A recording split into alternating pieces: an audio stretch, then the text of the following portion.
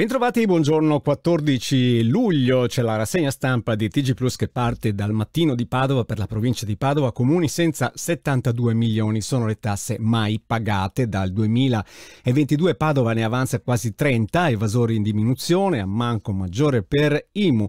In eh, provincia la classifica del mancato incasso dei tributi è guidata da Abano Terme, poi purtroppo c'è questa fotonotizia dello schianto e caos in A4, l'auto che si incastra nel tir, un morto e tre feriti. Poi ci sono anche, insomma, vedremo poi la notizia anche in altri giornali, così avremo modo di eh, parlarne di più. La Corte eh, UE è legittimo l'obbligo alla vaccinazione, questo dopo il ricorso di una infermiera Novax e nell'Alta Padovana anche lì grandine e vento distruggono i campi di grano, sono gravi i danni, magari sentiremo col dirette. L'allarme dell'USL, tre bambini su dieci pesano troppo, anche qui c'è la possibilità di un approfondimento.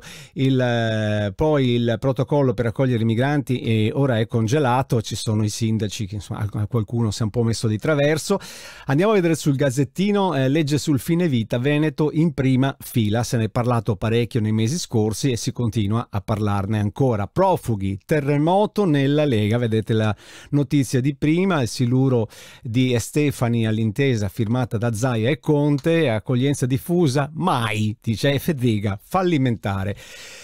Si vedrà, perché anche qui sono spaccature che eh, danno una, una certa, un certo taglio alla cosa. Tromba d'aria, la strage degli alberi, eh, al, al, nord-est un po' dappertutto c'è stato, questo, mm, c'è stato questo problema e sul Corriere del Veneto vedete che anche qui nella fotonotizia capannoni scoperchiati, danni a case e ospedali, il flagello eh, nel gran caldo e lega il video del segretario Stefani, no ai migranti, eh, presa di distanza distanza dal protocollo Zaia Conte e vedremo cosa succederà. Questa notizia che rimbalza un po' in questi giorni l'italiano e la matematica, sconosciuti da un alunno su tre, test invalsi Veneto al top ma con lacune.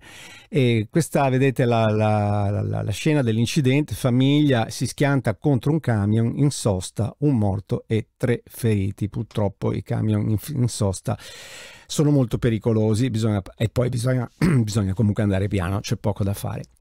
Eh, San Marco a Venezia l'ipotesi di ridurre i decibel e probabilmente si è parlato molto anche di, di, questi concerti ma insomma non è una novità che bisogna ridurre i decibel a San Marco è successo già dall'epoca dei Pink Floyd e poi insomma le varie polemiche rimbalzano di anno in anno Andiamo a vedere la prima pagina anche di Notizie Plus. Cittadella controlli su attività commerciali, scattano le denunce. Bovolenta mm, due auto e due bici, incidente con quattro feriti, ma sono eh, situazioni diverse.